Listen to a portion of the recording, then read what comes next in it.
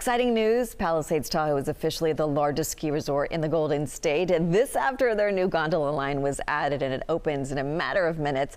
KCRA3's Erin Heft is there with all of the excitement. And Erin, how's it looking this morning? Oh, good morning, Leticia. It is crisp and cold out here, and we are here for the beginning of a brand new era.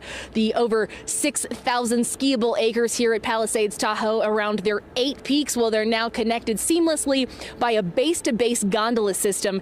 And we got a sneak peek ride, so take a look at this. The views are just absolutely stunning. The resort telling us that this has been a dream of theirs for 70 years. And aren't these views just incredible? Designed to have dual functionality the line can take riders from the Palisades side to KT Mountain and from KT Mountain to Alpine Meadows.